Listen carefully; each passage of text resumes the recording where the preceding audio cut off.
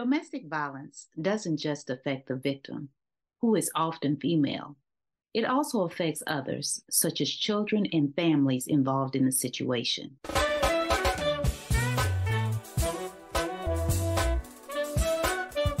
Welcome to the Empowerment Zone with Ramona Houston, where we zone in on Black and Brown relations and our journey to empowering our communities.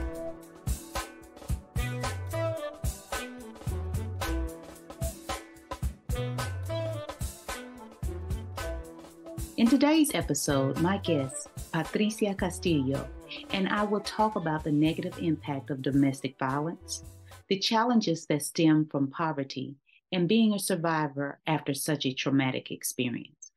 Patricia Castillo is a domestic violence advocate and co founder of the Peace Initiative. PEACE is an acronym for putting an end to abuse through community efforts. Enjoy our conversation and most of all, be a, support to those who are victims of domestic violence.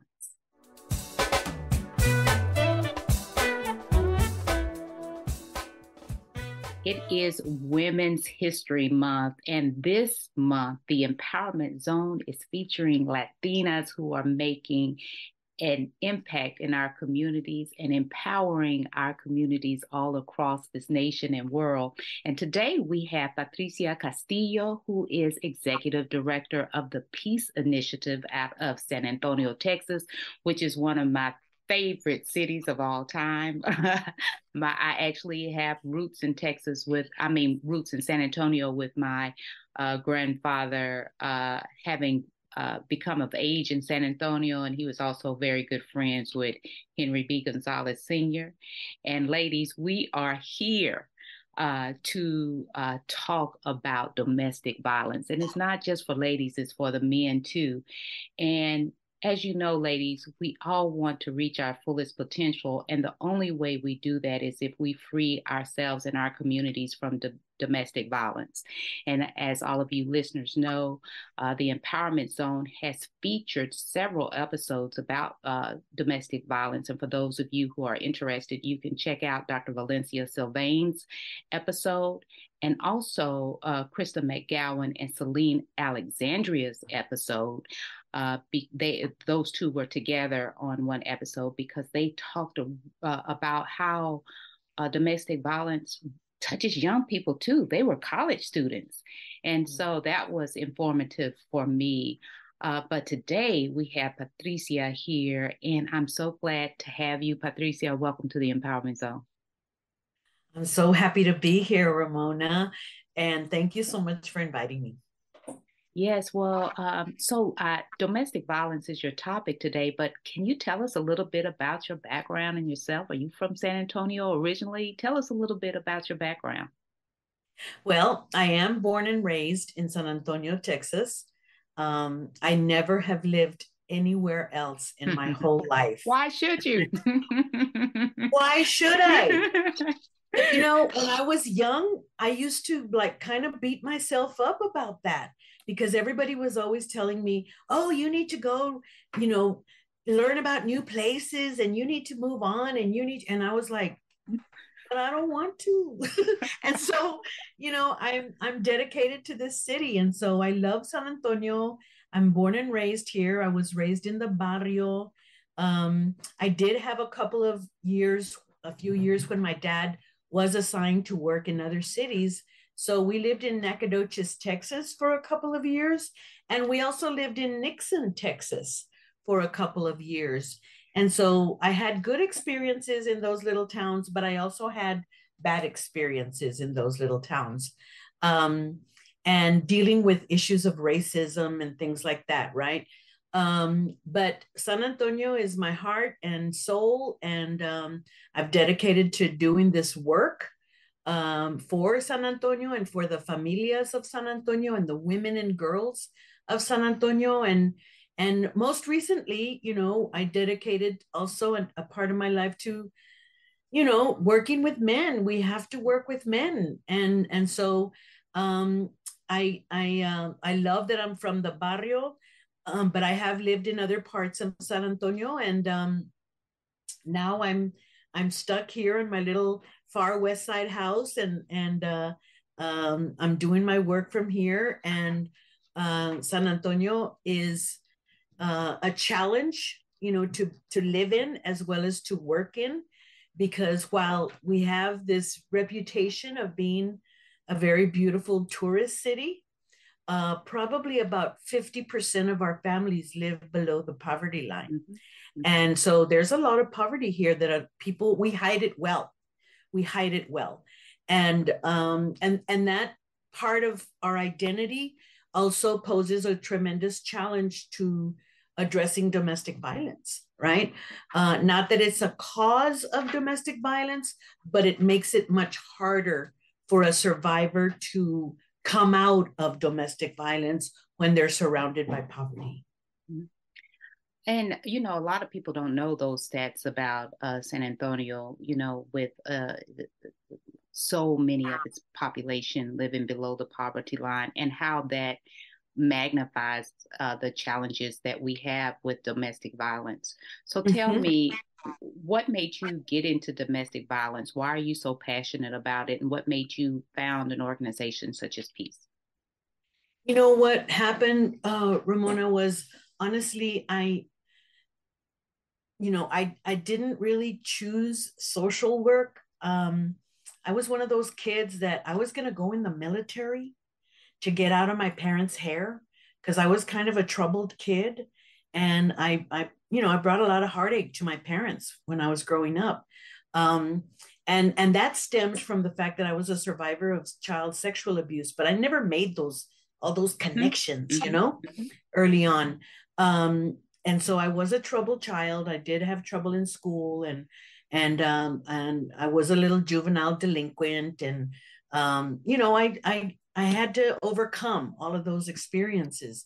But when I told my dad you know, we were talking about what I was going to do uh, as an adult. You know, he said, Well, I already have you all signed up to go to Our Lady of the Lake University. And I was like, What? And he, he said, Yeah, you're going to go to Our Lady of the Lake University. I'm like, Dad, we can't afford that. That's a private Catholic college. You know, that's a private university. I can't go there. And he goes, Yes, that's where you're going. And I said, No, Dad, no, I'm, I have other plans. And he was like, No, you don't. This is your plan. You're going to the university, and that's all I want to hear about it. And he was just like adamant. He had been applying for financial aid for me behind my back when I was in high school. And I didn't know. And I was meeting with recruiters from the army behind his back. and you know because that's what i was going to do was i was going to go see the world traveling and and you know being in the military because i come from a military family i have lots of members of the military in my fam veterans in my family and so to me it's it seemed like a right fit you know and so that's what i was going to do but he was just you know he put his foot down and i was one signature hmm. away from going in the army and he stopped me um, and he said you're going to the university and i'm and so I went and I didn't have really like a goal or a profession or a career in mind. I was like, I'm going to go get this degree to shut my father up and that way he'll leave me alone, you know? And that was my plan. But I ended up in social work because I liked people. I like, you know, being around people, working with people, talking with people, relating to people. And um, so I ended up with a bachelor's degree, and that put me um, out there in the field to to learn about domestic violence. But in my practicum, I had exposure to the battered women's shelter, and that shocked me to my core because I had no idea that we needed a place for women to go to that were getting beat up by their husbands and partners.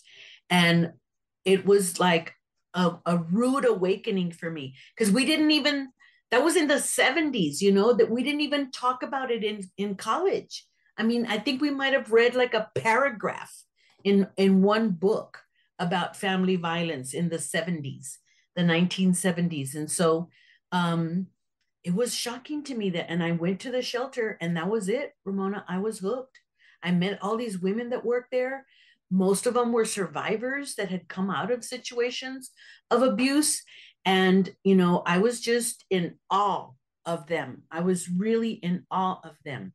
And, um, but at the same time that I was in awe, I was terrified because I thought, how painful must it be to face this issue every day?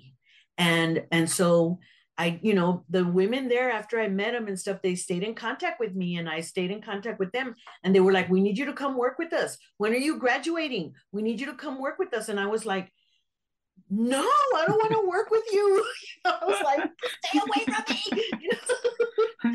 and so, you know, I did run from it, but I ended up taking a job that seemed um, like no big deal, right? But it was my first job out of college doing work at the Bexar County Women's Bar Foundation Law Clinic. And they asked me, can we hire you to, to recruit lawyers to provide legal advice to our members and uh, write a newsletter? I said, sure, that's what I'll do.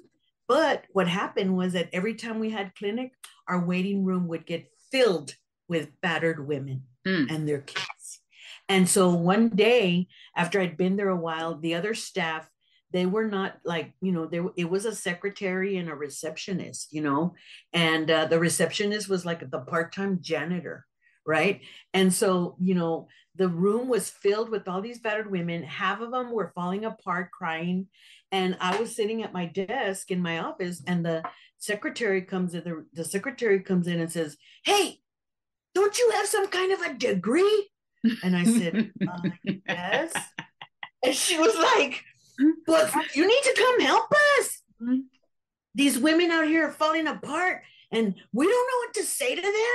You know, you're you have a degree, get out there and do something. Mm-hmm. And I was like, okay, you know. and there I went. I mean, like from the frying pan into the fire, you know? And that's how my work got started. Isn't that something? Um, you know, just speaking about the influence of family, father knows best, you know. I preach and, about my dad every day now. Oh my God. Yes, and we as children, we always say, "Oh, our parents don't know what they're talking about." You know, we we kind of, uh, you know, they, they they don't know anything. But yet, yeah. your father was there making a way. And I've always said, no matter who you are, African American, Latino, uh, LGBTQI plus, all people want the best for their children. They want yes. them to do better than what they have done, and they sacrifice their lives so that so that the next generation can be better. And here we are. Your father is right there in the trenches, not telling you, but I'm paving the way for you, and that's an incredible uh, story. You know, you going into the field of social work is is really special to me and my family because my mother is a social worker. And oh wow, and used to work for um, the uh, the uh, state uh, school uh, for juvenile delinquents. And one of the things she always taught us in terms of parenting is that many of the children who were juvenile delinquents, she said, is because they experienced some kind of trauma. And most mm-hmm. people don't acknowledge that trauma or try to heal them. And so here you are having experienced that, but at, uh, at least you had a great father who pushed you in uh, the right direction. And talking sure about did.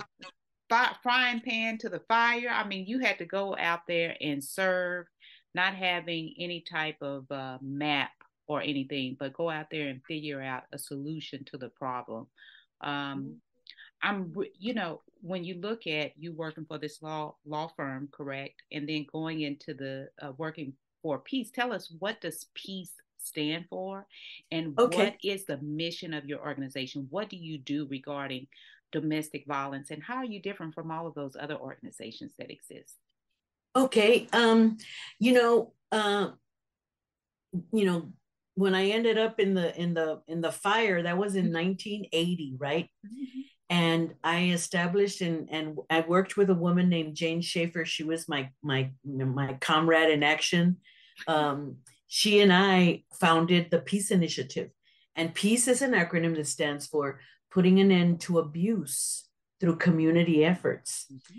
And Ramona, the reason why we picked that name was because when we were beginning, when I got hired by the Benedictine sisters in 1990 to go work for them, they they took me out of the Bexar County jail, right? Because I was I wasn't detained or locked up. Okay, I was working a program in there called Mothers and Their Children, and that stood for Match, right? Match the Match program, Mothers and Their Children, and um, I was working in there, and the the Catholic chaplain was a um, a relig- a woman religious, a nun, uh, who worked for the Benedictine sisters, and she said, you know, we we want to hire a lay person to come and work for the Benedictine sisters and be like our community representative, and we'll pay you and we'll fund your position, but you're representing us. You're going to be like our community arm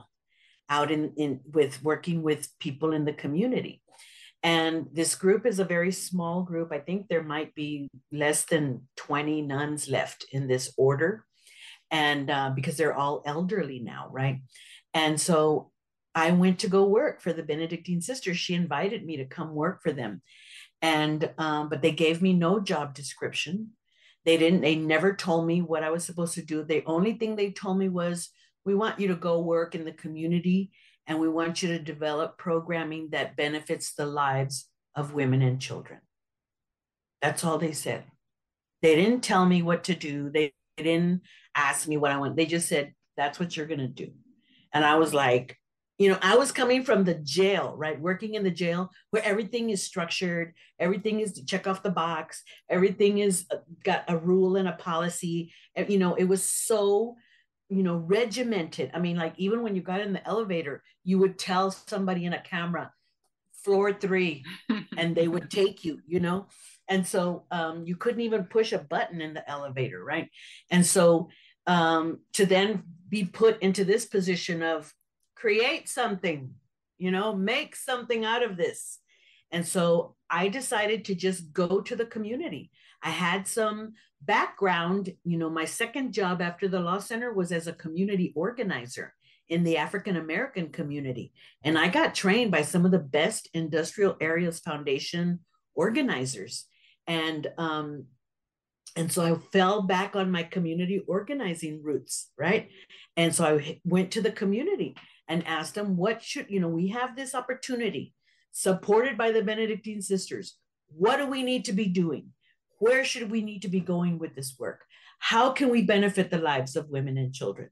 And in talking to all these battered women and all these people that work, serve the community, that are representative of agencies, the main topic that kept coming up over and over and over again was what's happening to families, what's happening to women in families, how much domestic violence there is, how the cops don't do anything to help them.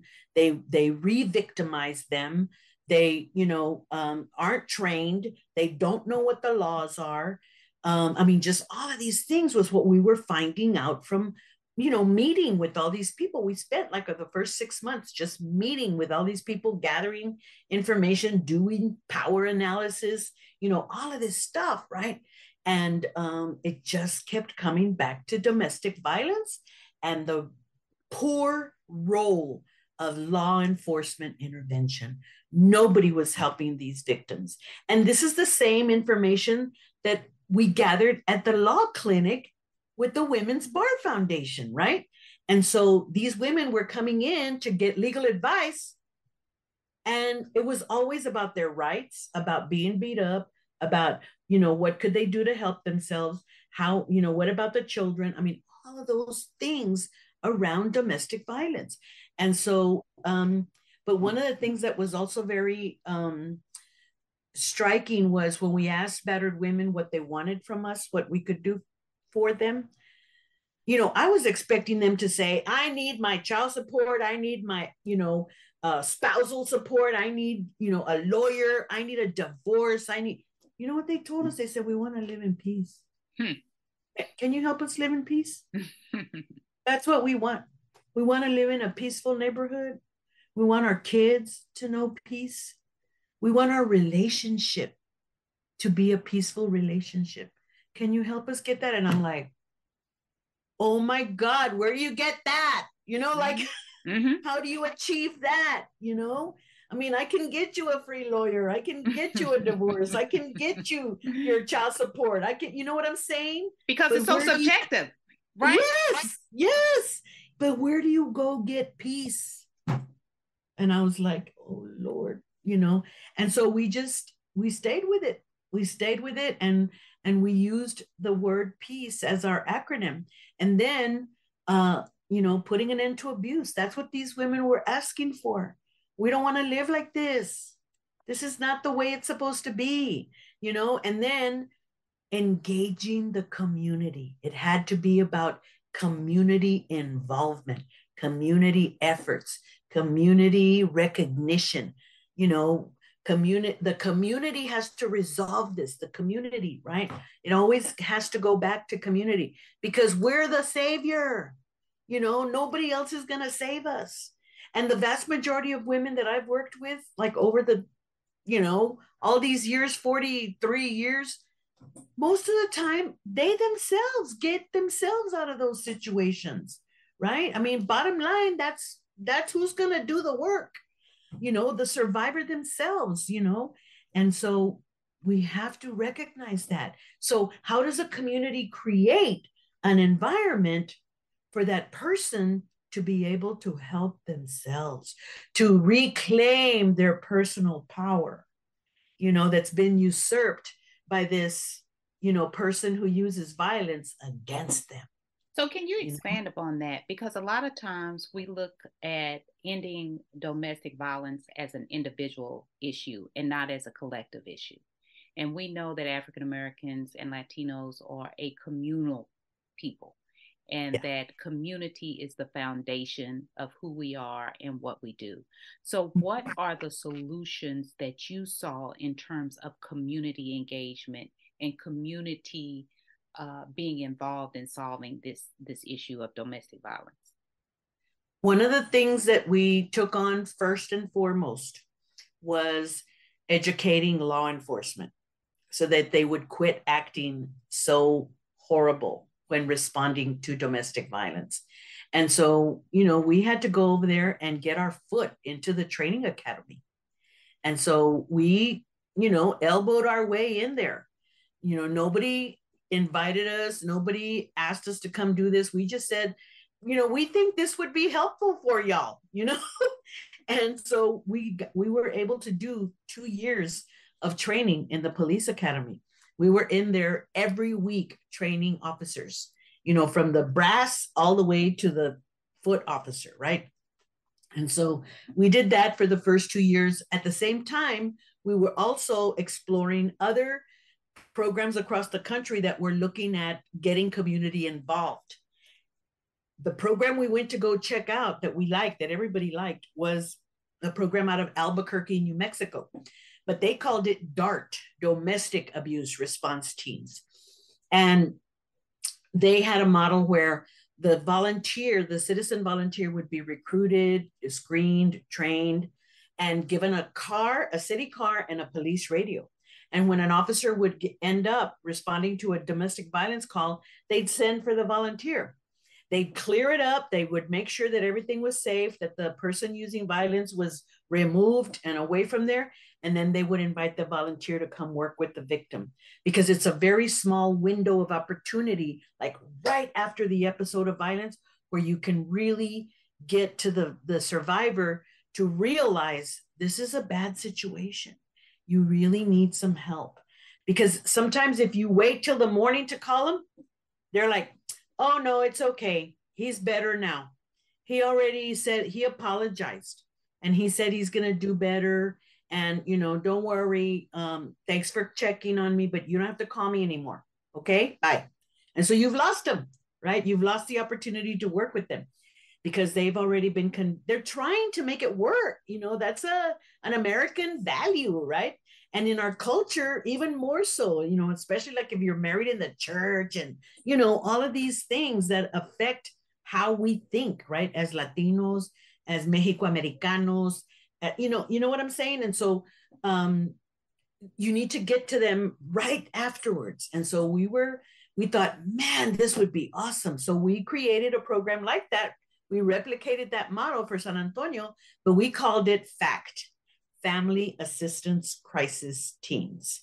And um, that's how we started screening, recruiting, training citizen volunteers. Um, we did that from 1990 all the way to 2020 when the pandemic hit. And we provided those trainings four times a year. And uh, so we did them quarterly and we did them at the police academy. And we, um, the, the smallest group we ever had was seven. And the largest groups we ever had of volunteers were like in between 40 and 50 people. People always volunteered to participate in that program. So that helped us. Because of that, we were able to, to educate something like 3,000 fact volunteers in those years, right? Which was what, 20 years or something? How many years is that? Mm-hmm. mm-hmm. Anyways, and so the other idea of that is now you have an informed, educated citizenry that's embedded in the community, right? Because you need to have your citizenry aware.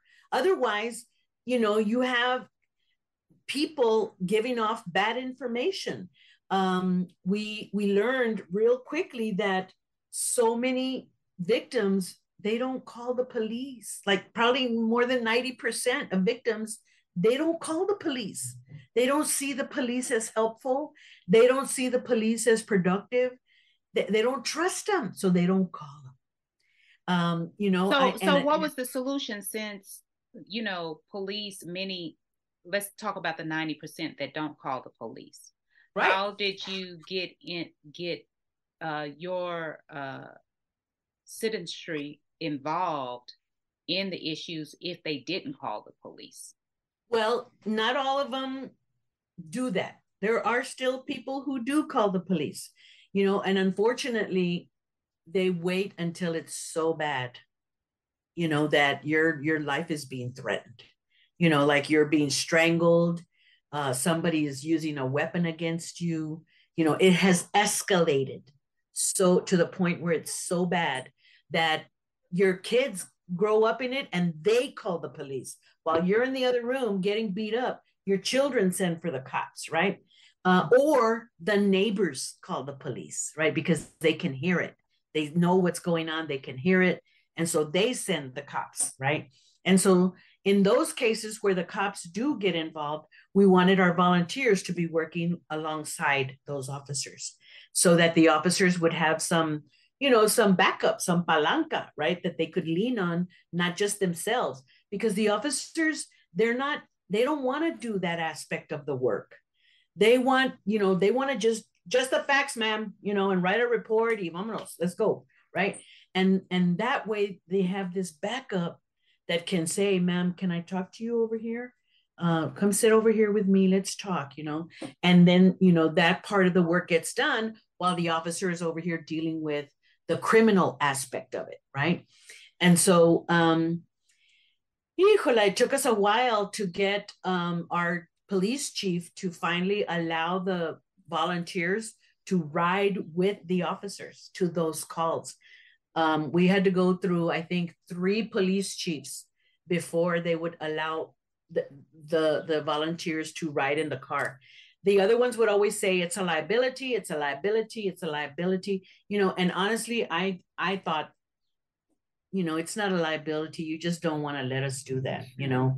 Um, and because when we finally got to this police chief that we have right now, and he's the one that let us get in the cars, he was like, it's a liability walking out your house, you know? exactly, exactly. you know, and he was like, yeah, I think that's good. Let's put them in the cars with the officers. And that way they get to talk with each other. You know, he saw it as a community building, exactly. a relationship building exactly. opportunity, you know? And so, again, that's another aspect of the work, right? That the citizens get to know their police department and their officers you know and the a, a lot of the volunteers that worked in the program also felt like this is a um you know a, an opportunity for me to take care of my neighborhood. This is my neighborhood. This is my police substation. I want to contribute to that effort right? A lot of our volunteers are also ramona survivors.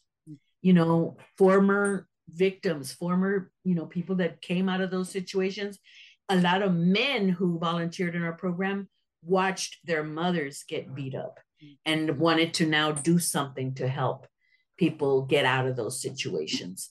And so um, then what we found was that these volunteers were helping people outside of the program because we would only ask them to donate one eight hour um, segment of time per month.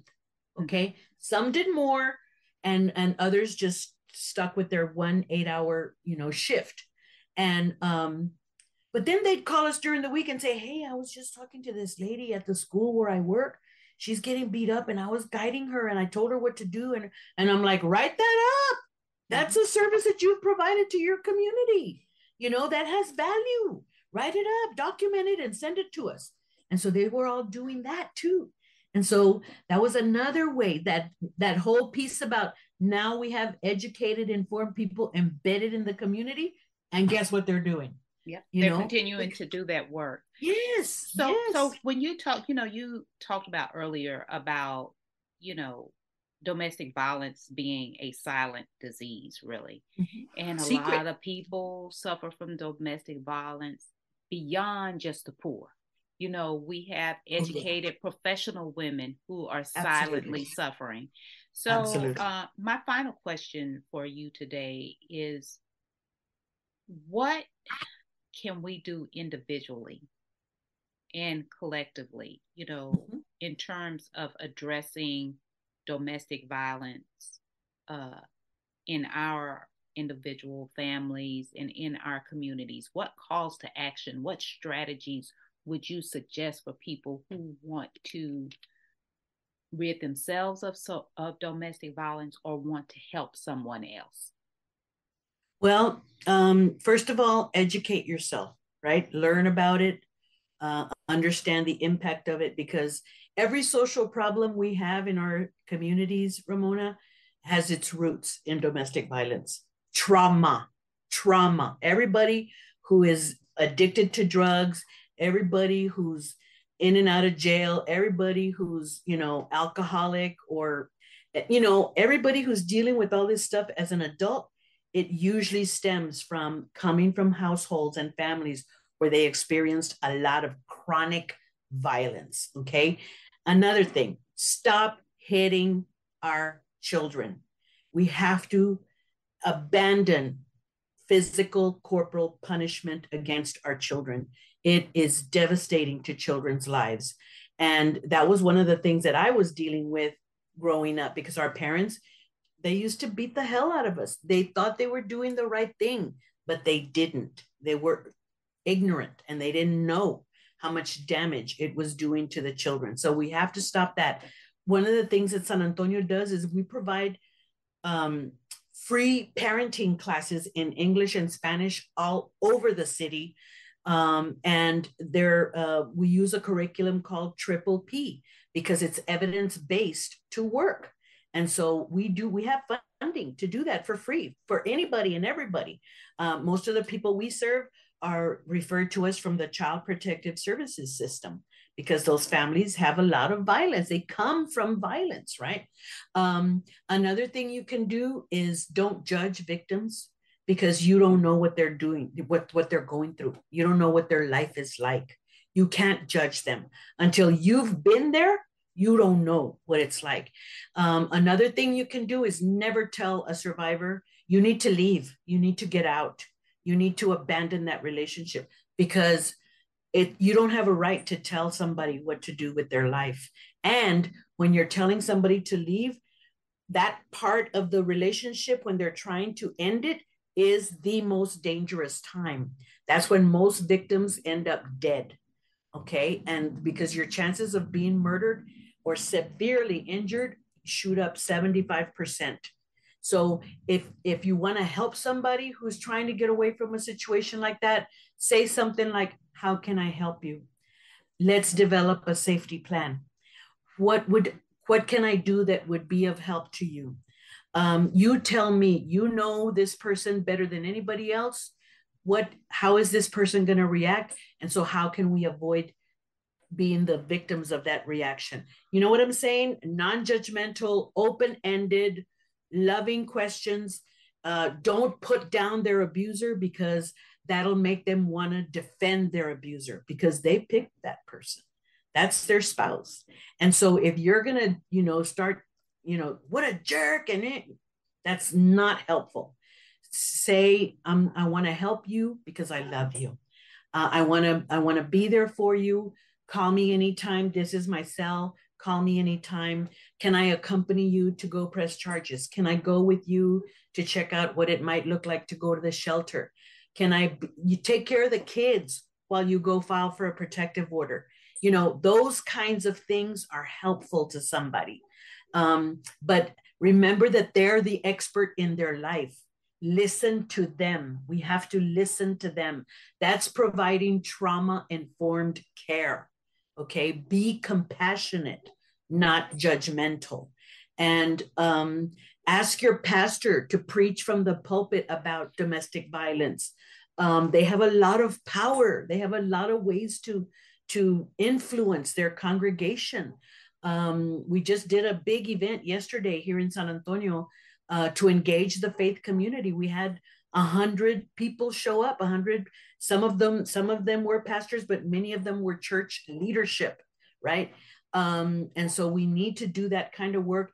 And this kind of work has to happen in every institution: the media, the schools, the churches, the healthcare system. The you know recognize that every institution in your community has a role to play.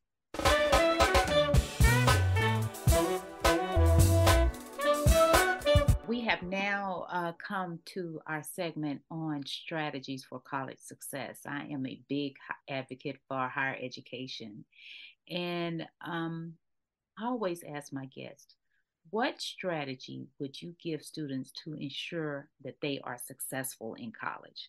And before you answer that question, could you please tell us what college or colleges did you attend? What were your majors, and degree or degrees? And then what is your strategy for college success?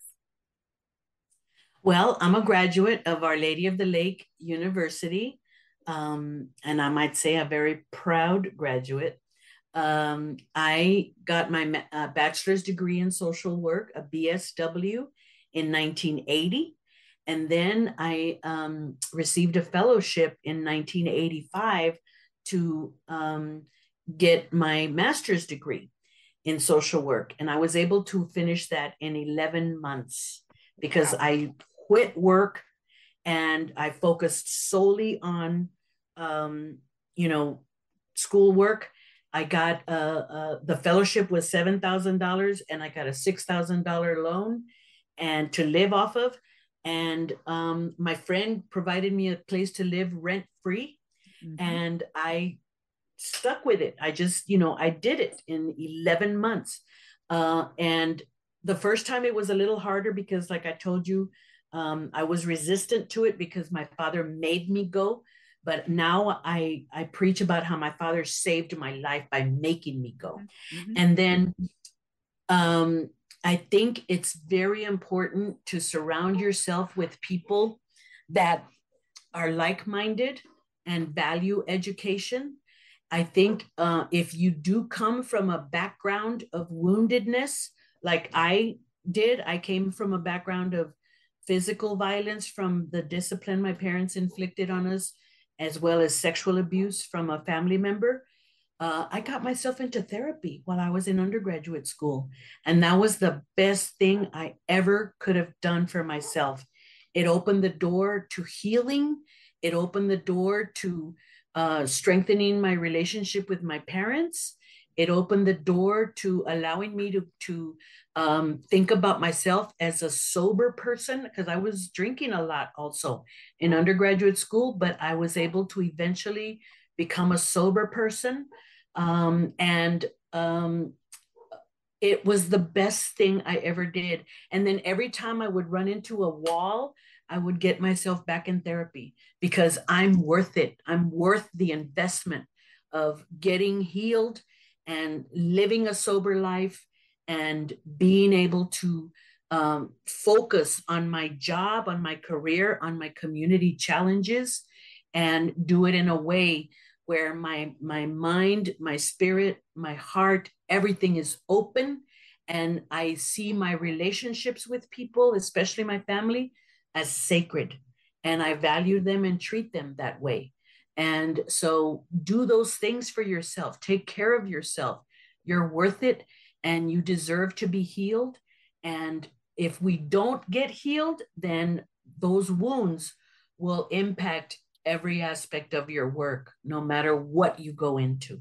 So those those are my recommendations. Man, Patricia, those are great recommendations, and uh, um, surround yourself with affirming people who value education and seek help. Get therapy when you need it. I have never heard uh, that particular recommendation, and you explained it so well of why therapy is important.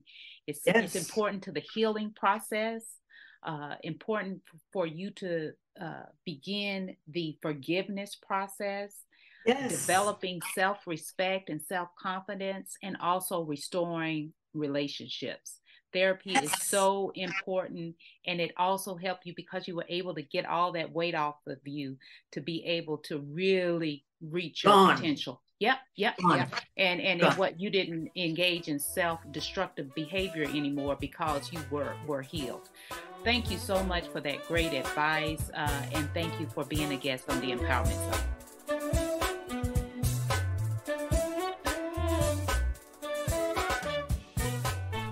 A special thank you to the incredible team of the Empowerment Zone.